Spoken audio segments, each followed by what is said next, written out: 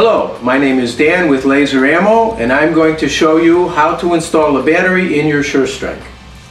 Laser Ammo batteries come in a package of three, like this. This is the Laser Ammo battery.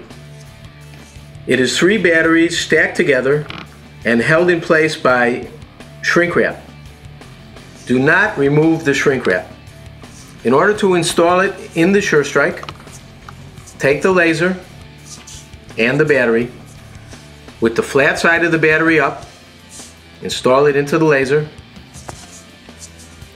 take your action cap, gently catching the threads, and screw the cap all the way down. Close it gently. Your SureStrike is now ready for use. In order to remove the battery, unscrew the cap,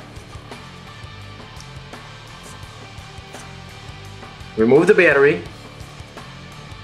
We recommend that the battery be removed for storage to help it maintain its long life and you're ready for the next usage.